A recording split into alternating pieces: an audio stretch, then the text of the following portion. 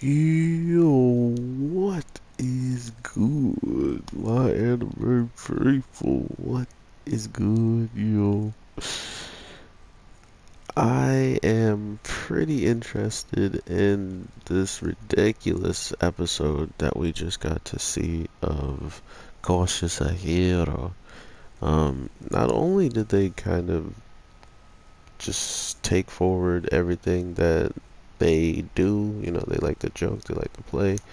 But to think that they then are going to take the show to an extent where they go to another dimensional realm and this monster can break that barrier and just follow them. So we're dealing with the monster that is dimensional and the weird part of it is they boosted it up so much that it's weird to now see their other approach being what it is, right? Like the guy with the multiple arms just kind of coming in and doing what he does and then losing the way he does, right? Like it didn't it came off weird on the whole how much did you just put in I put this on normal by the way and he's I guess the first stage is always doo doo and because you see this weird overall notion that whoever is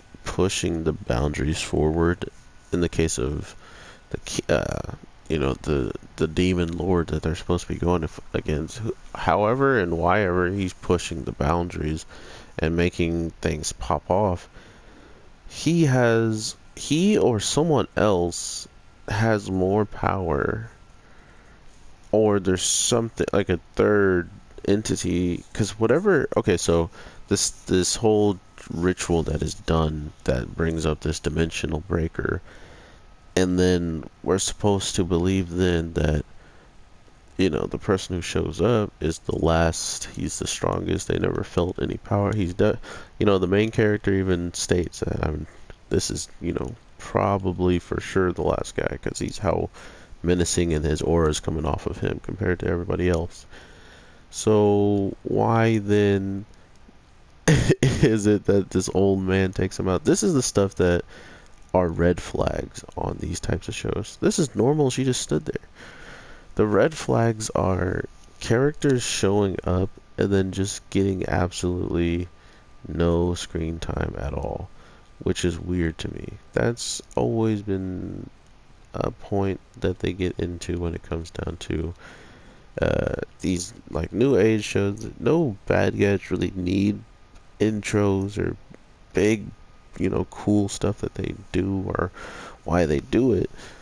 They just kind of exist to exist and then they're gone, right? Because this old man shows up and whenever he does something, he then turns into a baby afterwards. So it's like I honestly don't know what to think is going to happen in the show, and that's what's actually more of the grasping point for me than what we're seeing when it comes down to uh, characters like this really cool demon who's supposed to be the strongest of the strong, and then we get to see the strongest human out of everybody who should be capable of taking out the threat of the world but because he can only attack once, it makes so much sense why he has to stay at the castle after the said attack. Which I'm interested to see how quickly he grows. Because seeing how old he was, it means he either had a really long time to grow or not much time at all and he grows relatively within a day or so. I don't know. I'm interested in that kind of stuff. It's really weird, and I think it made the show, this episode, what it is. Like, it made this episode so much better. Um, than you know, getting the the little Valkyrie service service, and then seeing what she does with that gate was absolutely hype, and knowing that that monster straight up was going to kind of, it seemed like it was going to come out. Like she made it absolutely about to be one of the strongest things uh, in this whole entire like thing we've seen so far. And she's like, "It's coming soon. I can feel it. Don't." She's like, "Don't come close to me," and all this different stuff. Like the the perfect ways of just saying that you know the enemy I've defeated is not probably defeated. And if it isn't, and you're near me, you're gonna get bopped with me. So stay back. Nope, she just was going to lose a lot of blood, and once she lost that blood, she was pretty happy about it.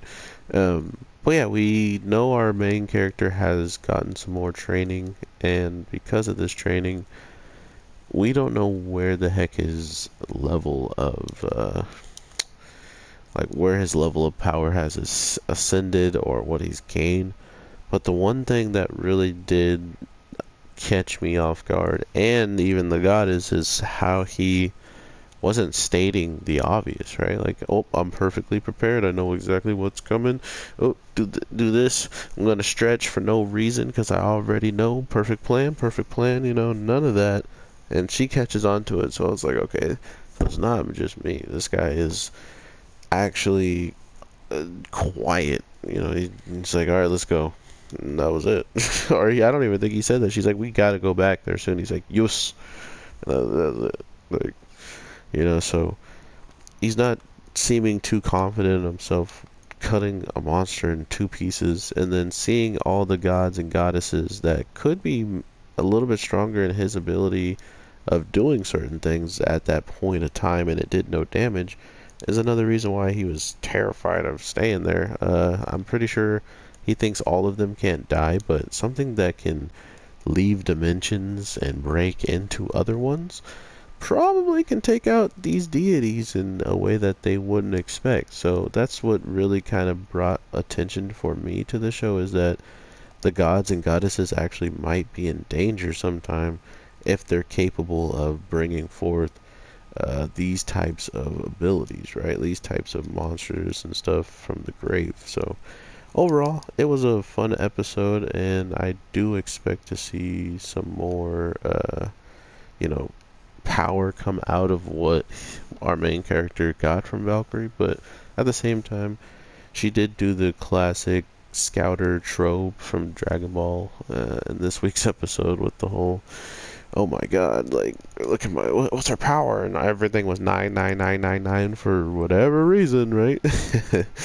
um, shout out to them for that. And there was another reference that I can't really remember right now. I'm drawing a blank because this episode was ridiculously funny and hype, but I definitely want to hear what you guys are feeling about it. Overall, I got this, I got Radiant, and I got uh, Seven Deadly Sins still to drop. So if you are not subscribed to the channel, just make sure, and you want to see those, they will be coming today. Just they will be a little bit later, or maybe Radiant will come sooner than later. I'm not sure yet. So with that being said, take care and peace.